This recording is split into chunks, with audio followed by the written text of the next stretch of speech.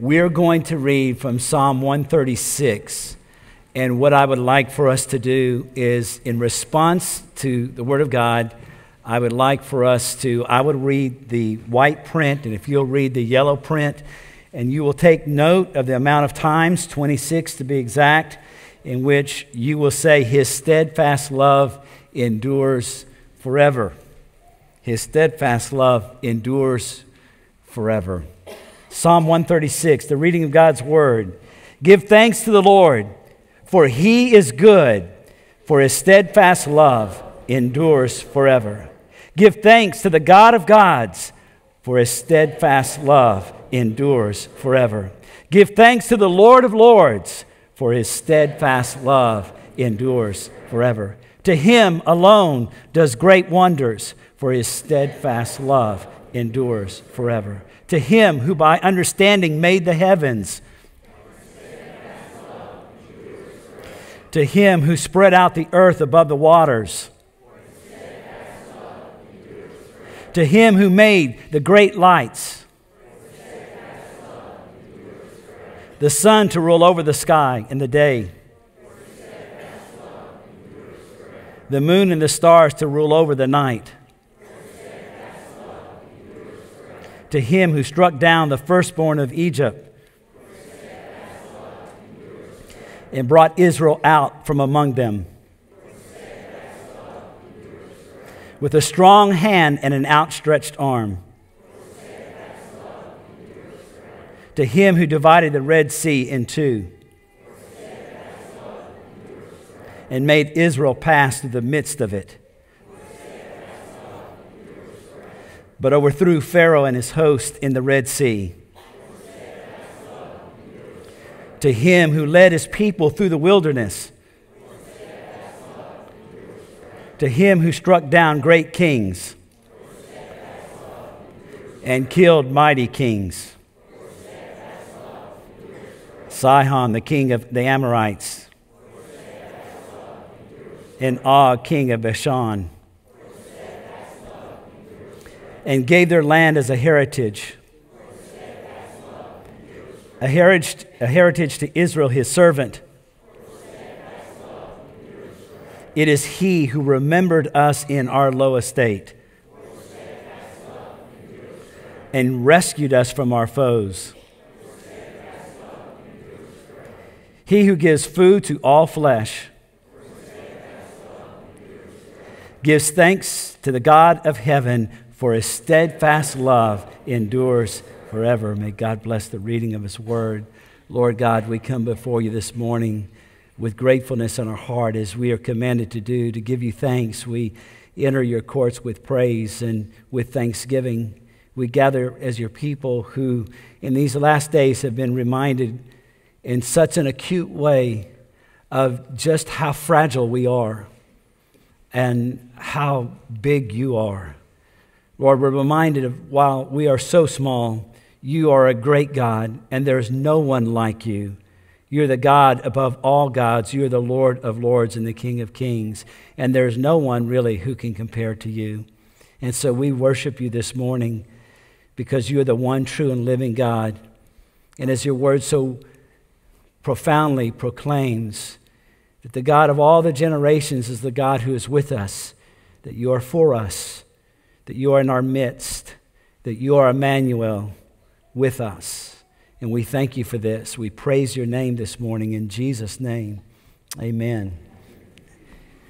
This week has been what I think many of us have, and many of you have. The children. Okay, we need the children. I thought, boy, my heart sank right there. Somebody's flagging me down in the middle of the service. Let the children go. That's what Moses said to Pharaoh. Whew. It's post traumatic syndrome for me. What, what's going on here? Right over there. I'm going with you. Somebody take over this service. Whew, that scared me. I mean, that's the way we've been, haven't we? Something comes up and we're just like that. And some of you men and women have worked in the plant the plants in our area for a long time, and you can testify. In fact, some of you, you retired after decades. You retired from the plants, and it's very much a part of the culture. It's a part of how we make a living here, how you provide for your families, and how you take care of your loved ones. And it's been a tremendous resource for our area and for the country for that matter. I was surprised to find out just how few people even knew what was going out outside of Mid County. It's amazing. Go to North Texas, and I mean, unless you tell somebody, they don't even know. Your own family doesn't even really understand what you've just gone through. And as many hurricanes as we've gone through together and experienced, and other disasters, nothing like this, at least in the years that I've been here. And so it just causes us to pause, doesn't it? I knew that when we came home uh, a little earlier than what we had planned, we came home late Friday night. And like you, I evacuated. I obeyed my own exhortation to evacuate and to be in compliance with those who are in authority over us for our own safety. And uh, we evacuated to North Texas, and we spent Thanksgiving with our sons and our family there, and we were very grateful to do so. But we were ready to come back home. This is our home. We've been here 24 years, as I was sharing with someone before the service. We've lived here longer. I've lived here longer than I've lived anywhere in my life now. This is my home. This is our home. We wanted to get back. Not that anything was going to be any different, but we did notice driving in, and even yesterday as we ventured to Beaumont, fearfully so, because it's the shopping weekend of the year, right? To go to Beaumont and to exit at Dowlen. I just wanted something to eat. and that turned into other enterprises. But we, so we, we went, we exited there, and I noticed so few cars. And Cheryl had posted something online, and it was getting quite a bit of attention. And we were having lunch talking about why are people commenting on this? And, and, it's, and it's the middle of the day. I mean, people are not normally on social media, uh, Facebook, particularly on uh, Facebook in the middle of the day. And it just dawned on us that, you know what happened? You were probably like so many other people. You came back to your home, and you know what you wanted to do? You wanted to just sit down in your home. It was still there. And I don't, certainly don't want to create some kind of sensation here, but we were grateful to sit down in our homes and to say, Lord, it's still here. And to give the Lord the credit. I hope you did that. I think many people are wanting just to sit in their recliner or, you know, just sit down and just take a deep breath and try to take in the moment and understand that, you know, try to process what was going on and what this week had been like. So, in a few moments, I hope to give a few of you a chance to share some testimony about. I told you last night I was going to do this. And we might just have somebody who's not in the service today that you might want to give me their phone number. I'll call them in the middle of the service and say, You're not here, but we want to know, the church wants to know what you're thankful for. Because I told them we would do that. Rusty, there you are, okay? So, Rusty you know, he posed a question on our Facebook Live last night. Potentially, he might not be here. Well, I know he works sometimes, like some of you, on Sunday. And so I thought, well, we might just call you. Never know. But we were thankful, and we sat down and we began to process this and think through and say, Lord, we are very grateful.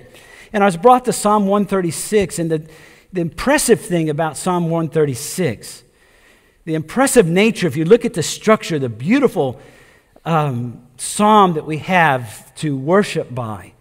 And the psalmist records for us the, the character of God, the creative stroke and power and majesty of God, all founded upon his character. These are the four key ideas I want to give you, and then you can go back and read them.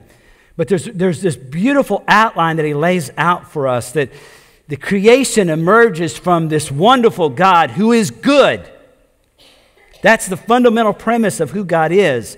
Give thanks to the Lord because He is good. There's a lot of question about the goodness of God, especially when people are going through difficult times. But we can see the goodness of God in so many ways. The psalmist is saying, Look at the goodness of God as He has created all things, as He has conducted himself in these wondrous ways, these marvelous ways in which God has conducted himself by bringing his people out of 400 years of Egyptian bondage. This is, he's going to recount the story of Israel, okay? And he recounts the story of Israel, recounting step by step these significant events in Israel's history and the life of God's people of old to remind them that God is not simply a God of past generations, but he is a God very present in this generation. That's where he's taking the song, okay?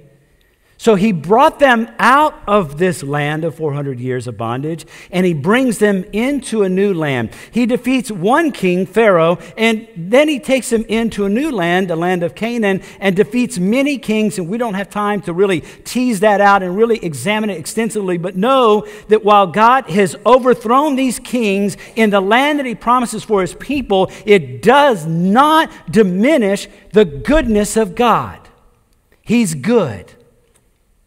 He's wonderfully so, creating and liberating and redeeming. This is what he does.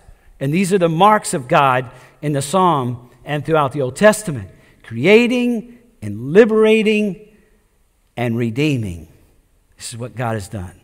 So he says, Give thanks to the Lord. Give thanks. So I'm just going to put somebody in the hot seat right off the bat.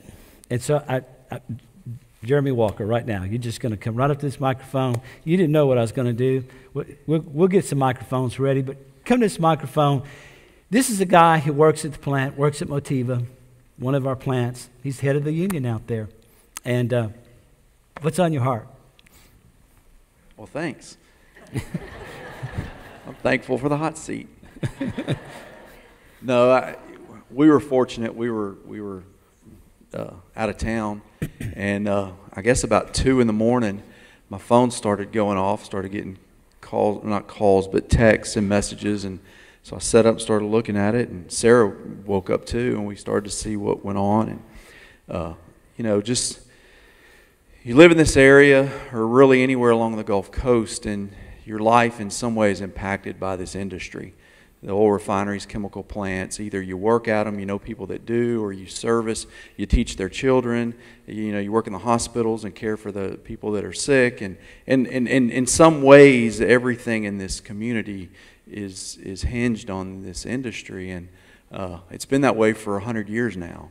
And it'll be that way a long time. And I saw, scrolling through a minute ago, somebody put, I'm thankful that we don't have a spirit of fear. And you know, fear can grip a community.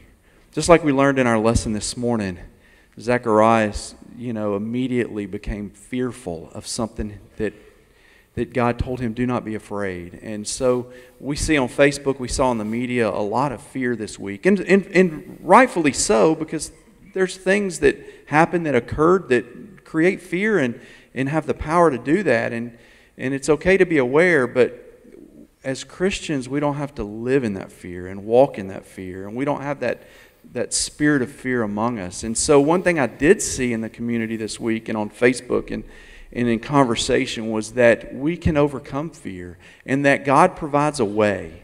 Just like in Psalm 136, He provided a way for His people through the wilderness. He provided a way when they were in Egypt, a way out.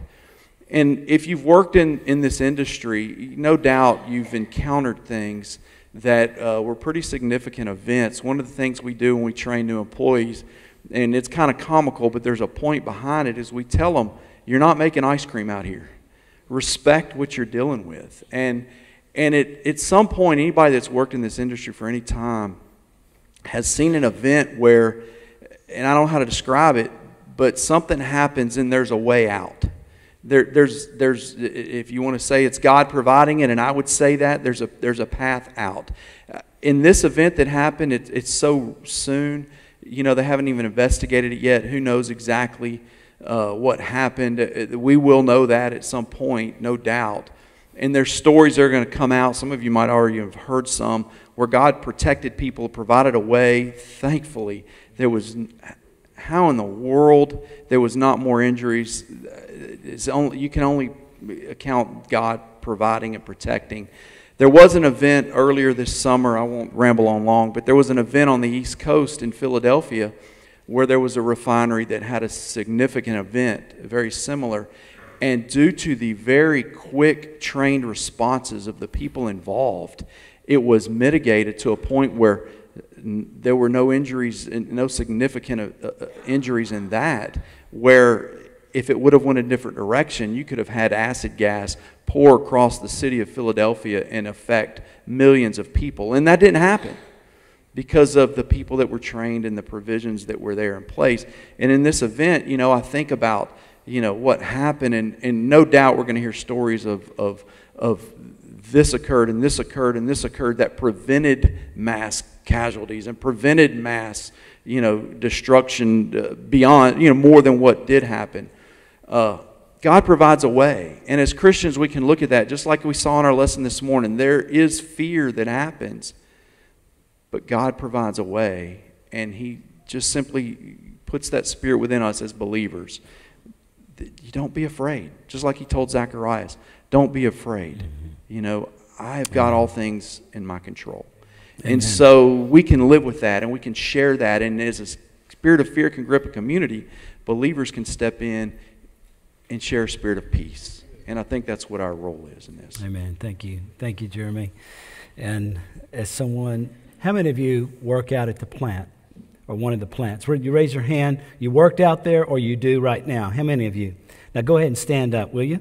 If you worked out there or you work there right now, would you go ahead and stand up? Okay? It's a lot of folks right there, or you have you. How many of you have loved ones that work out there? Okay?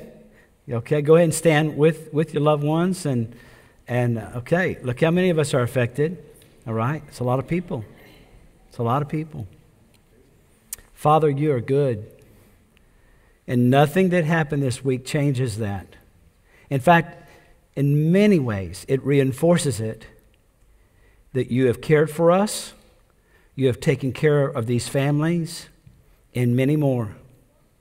The first responders that moved quickly, Lord, we take for granted so oftentimes. And we ask, Lord, your blessing upon them and your protection. You gave that. Lord, you would not have been, you would not be less had there been loss of life. We know that. But we do thank you that there was not loss of life. We do thank you that all of these families who were here last week are here again this week. We thank you for that. We give you all the glory in Jesus' name. Amen.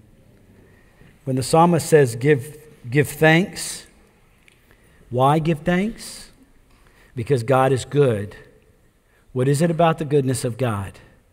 I'm really honed in on this idea of the goodness of the Lord, his character, because from God's character emerges everything else creation, how he conducts himself, and ultimately how he fulfills his covenant with his people and he cares for his people. But he's good. The Hebrew word is the word tob. It means that he is best. He is better than. One translation, it's in few places, but it does occur. He is beautiful. There's your three B's right there, okay? It's right out of a biblical dictionary. Just want you to know make this up. He is, he is best. He is better. He is beautiful. That, that is, there's nothing within his character that can be distorted. There's, there's nothing in him that has been distorted. He's always acting consistently within himself. There's never a moment in which God errs and that he's flawed. We never see anything that God does or that who he is that's flawed, that has something missing. This is like a beautiful portrait. There's, there's nothing in it that one, once you've examined it extensively, that you look at and say, but there's this little, right up here, if you notice that, there's nothing like that about God. He's beautiful, he's complete, he's whole. And so when the psalmist says that we are to give thanks to the God who is best and better and beautiful, and it is an imperative, he's saying you, in essence, you will want to give thanks to the God who is best and better and beautiful because you have this intimate knowledge and personal experience with him. This is what the word means to give thanks to the Lord. You will do so because you have personal, intimate knowledge, experience. This is not cognitive, it's not exclusively cognitive. It's more than something intellectual. Certainly, it's something we need to understand and comprehend. But I want, I want us to drill down on this for a moment because it's saying to us that because we know, yes, we know, but we know that He is this, that this is His character, we will give thanks to Him. In, in other words, it, it's saying that we who give thanks to him do so because we have intimate and personal knowledge of him. Thus the conclusion is, is that if you do not give thanks to him it's because you do not have personal and intimate knowledge of him. Are you with me on this?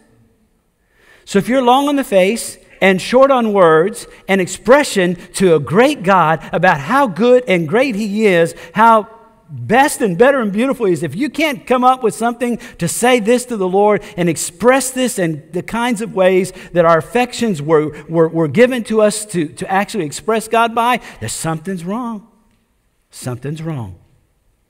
Now, we don't all express ourselves in the same way. That's not, we're not looking for uniformity.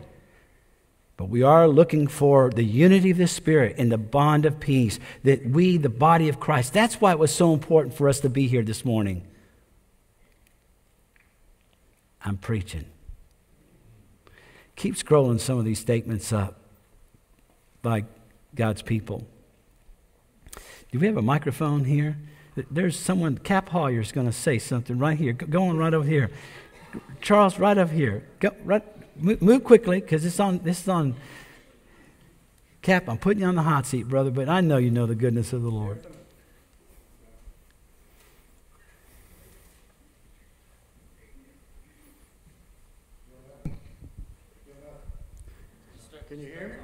Huh? There you go. well, that tells you how experienced I am with doing this. I did work in the chemical plant industry for 30 years, from 74 to 04. Uh, I'm very grateful for that. A great living. I worked for a great company called DuPont. Uh, I was in operations. 28 years of that was shift work. Spent many, many nights, Thanksgivings, Christmases at the plant uh, because that was part of my responsibility. You know, I've always had that sense of danger within me. Uh, companies are there to make money and they make changes which we as human beings think are wrong when they reduce the number of employees. And it just gives you that sense of danger that sooner or later you're going to go too far and there won't be enough humans involved. It'll be more uh, electric and more automatic and safety devices, about 20 of those 28 years, I was part of the emergency response team, anywhere from a firefighter when I started to uh, incident commander before I left. All the way from uh, right there on the front lines, all the way to the back, making the big decisions of when to evacuate, how to evacuate if something should happen. And we trained, and we trained, and we trained. And they still do that today. And I truly believe only by the grace of God that these companies have continued to train and train and train, not cutting back where they need that desperately. You know, I made the decision myself, even though it was mandatory. I went against what Brother Joe said. but my wife and, uh, came in there and said, let's go. She has a cousin that's a lawyer, and the lawyer had called the family, called Miss Sarah, and said, y'all need to get out of there. It's bad. Could be bad. So Shally told me, let's go. So I got in the car with Shally. We picked Mama up. I got to the end of the driveway, and I'd said a few little silent prayers prior to that uh, a number of reasons why. But we got to the end of the driveway, and I told him, I said, I, I don't think I need to leave. I, I think I need to stay. And I say that not because I'm so great or so wonderful and all that, but it was the 20 some odd years of training I'd had at the chemical plant to know what decisions are based on and how far you're going to spread out. You're always going to err on the safe side. I'm 2.7 miles from the site. And I knew that prior to that going to the end of the driveway. And so they did. And my mother, that's my angel on earth. If anybody believes a human can be an angel, my mother in law, Sarah Lawrence, is an angel. She is my angel. Uh, she did not say, No, you got to go. She, she stayed quiet. And I felt like that was my sign that it's okay. If Sarah would have told me, we got to get out of here and you're coming, I would have went with him. Needless to say, I stayed, and, and it was all because of my previous training wind direction, humidity, type of chemical, uh, safety measures. I'm just truly grateful. Like I say, this is not Amen. my cup of tea. I can't stand up in front of people. Uh,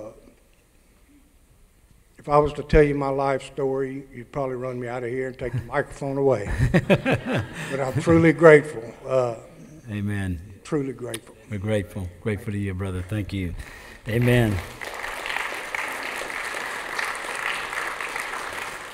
And you earn some points listening to your mother in law as opposed to listening to me. I get that. I'm with you on that, right? Look at the last part of Psalm 136. Take some time his steadfast love endures forever. We have, we have four English words to describe what two Hebrew words are given for us as a basis of this translation. That, that steadfast love, over and over, that's how it's translated, sometimes mercy. Steadfast love. That, that it endures that it endures forever. The Hebrew word that exists there is the word olam. It means time out of mind. That is, I want you to think, the psalmist is saying, comprehend, try to comprehend this. That God's steadfast, abiding, continuous love, his loyal love, directed toward you as my as covenant people that that will abide forever and ever and ever and ever. It's, it endures forever.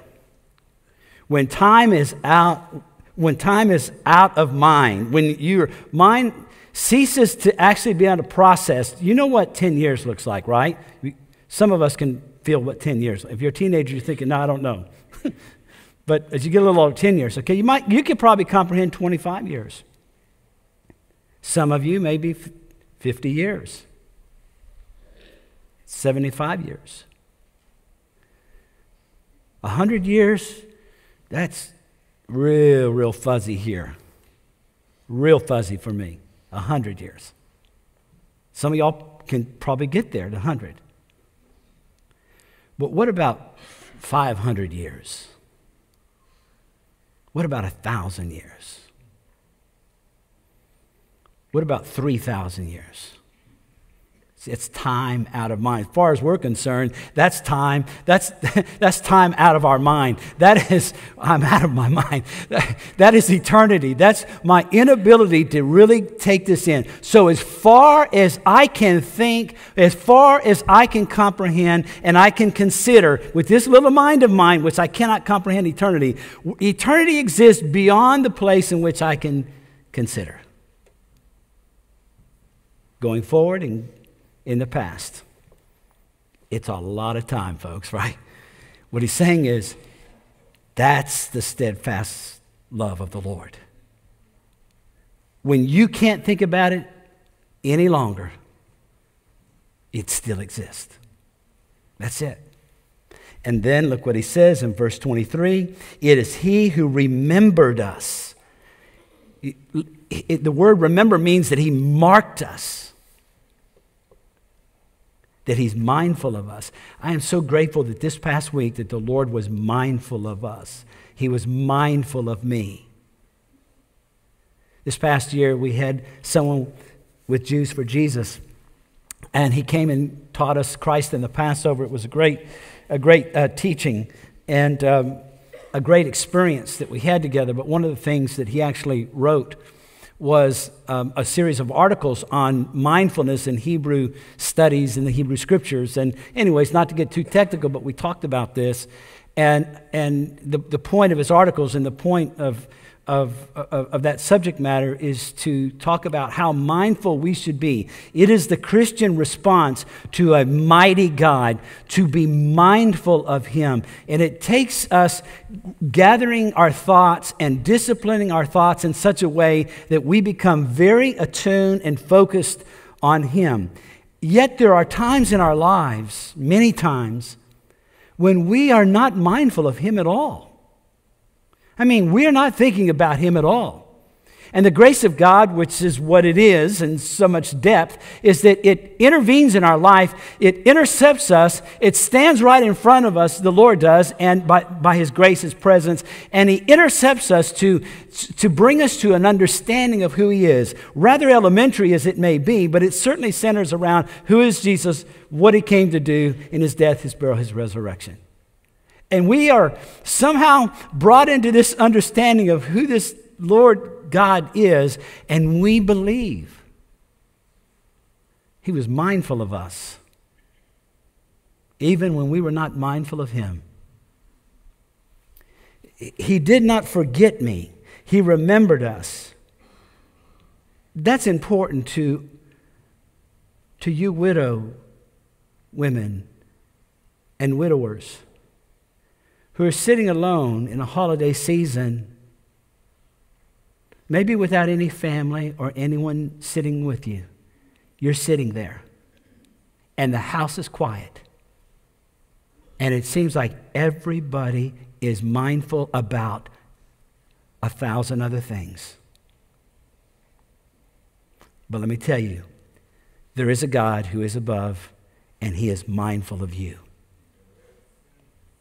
to that single mother who's wondering how she's going to make it this next week. To that plant worker who's saying, you know, I don't know that I'm going to have a job after this. To that person who's going through some trial in your life right now, and it seems like though nobody really knows what's going on, and yet you, you feel all alone in your circumstance. He is mindful of you. He's mindful of you. There's never a moment in which God has a moment of being what we call absent minded. There's never a moment in which God says, Oh, I'm sorry, Joe. You know, I, I, knew, I knew we were supposed to get together. I'm sorry. I, I, he never has to apologize because he's mindful. I just love this. And from a deep place, the psalmist talks about this worship of the Lord. So let me try to land this, okay? Because there's, there's so much. Will you read Psalm 136? I'm so full of thanksgiving this morning for my family, for my friends, for my church, for the safety of the multitude of men and women of this past week. Pray for Guy Burnham, and he's in Houston right now with other engineers. He works recently was hired at TPC after many years at another plant. He's part of our church family, isn't he? So many people we know. God's mindful for such a time as this. He has us where we need to be. And together we needed to come in here as the church and we needed to sing and we needed to give thanks and we needed to breathe together and we needed just to be together, didn't we? Didn't we? And just to take a, a deep breath and just say, I'm here. Some of you have said that. I'm just thankful, truly. And you're not just saying it. You know, sometimes we say that. Yeah, I'm just glad to be six feet above. You know how we say these little things that we say? No, truly, you're saying, I am grateful. I'm very grateful. He remembers me in verse 23. Let me give you three R's, okay? three R's. You know, a preacher had to come up with something alliterated, but it's right in the scripture. Verse 23 It is He who remembered us in our low estate. What is He saying? He's saying He's not just the God of prior generations, He's the God of this generation.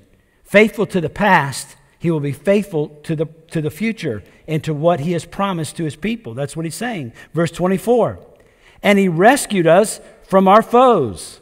He redeemed us. That's what the word rescue means. He delivered us. And uh, literally, the word means that when He rescued us from our foes, it, sometimes it's translated, he, I know this is going to be an interesting term, that He broke us off. We were, we were broken people, but he, he broke us away and broke us off from whatever pieces that were left of us, God has made something of us. He made something of me, He made something of you. That's what He does in redemption, in rescuing us. So there's the second R, right? His steadfast love endures forever. He who gives food to all flesh, for His steadfast love endures forever. And He sustains us, He renews us and replenishes us. Give thanks to the God of heaven, for His steadfast love endures forever. Let's stand together. Let's say this together. Can you repeat it after me? For his steadfast love endures forever. For his steadfast love endures forever. For his steadfast love endures forever. Amen? Amen. Amen. Praise be to God. Lord God, we thank you for this day and we worship you. There is no one like you. There's nothing that can be spoken, really, ultimately, that does justice to your great name.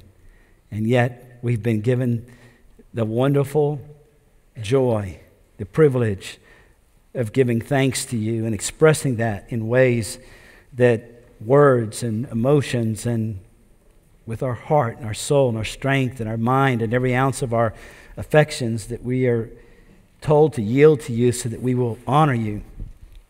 We thank you for that, that you have called us, that you have rescued us, that you broke us off and then you took the pieces and you redeemed us. You redeemed us, and we praise you for all of it. Lord, we, we, we will spend forever contemplating your steadfast love toward us. And, and Lord, when this life comes to an end, you will still be God, and nothing will have changed. And all that you've ever done, and all that you've ever promised, will come to pass and will be fulfilled. We thank you for it all. In Jesus' name.